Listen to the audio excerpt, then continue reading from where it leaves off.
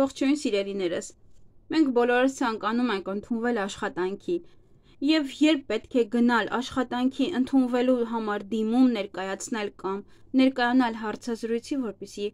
իդեալական անցնի եւ չսխալվենք եւ իհարկե մեզ ընդունեն։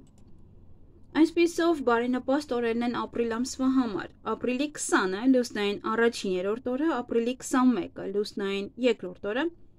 ապրիլի 24-ը, 25-ը եւ 26-ը լուսնային 5-րդ, 6-րդ եւ 7-րդ օրերը։ Եվ իհարկե լավ օրեր են հարցազրույցի համար ապրիլի 15-ը, 16-ը, 17-ը, լուսնային 26, 27, 28-րդ օրերը, ապրիլի 22-ին, 23-ին լուսնային 3-րդ եւ 4-րդ օրերը, ապրիլի 27-ին լուսնային 8-րդ օրը, ապրիլի 28-ին 29-ին լուսնային 9-րդ եւ 10-րդ օրերը։ Եվ իհարկե չեզոք օրեր են հարցազրույցի համար, որ միգուցե անցնենք, միգուցե ոչ։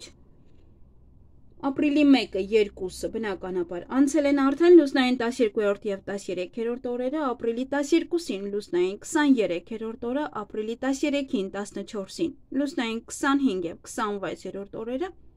ապրիլի 18-ին լուսնային 29-րդ օրը, ապրիլի 19-ին լուսնային 30-րդ օրը եւ ապրիլի 30-ին լուսնային 11-րդ օրը։ Խնդրում եմ պարտադիր լուսնային օրերը